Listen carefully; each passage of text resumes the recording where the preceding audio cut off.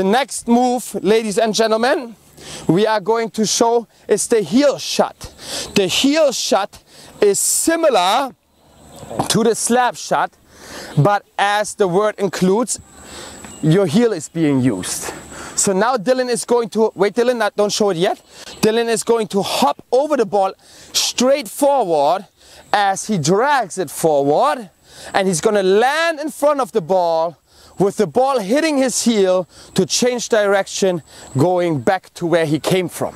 Dylan, show it one time slow. Hop, yes. Go back. And now Dylan, show it one time with speed, please. And boom, and speed. Now, we're gonna let him do it one more time. Dylan, try to do it before the flag, so back out a little bit more, give yourself more space, and try to make that shot with your heel more precise now. Ready? Go ahead. Very nice, perfect. All right, we are going to show again, like always. We're gonna accelerate back to our own cone, Dylan. Yes, come. And heel shot, boom, and speed.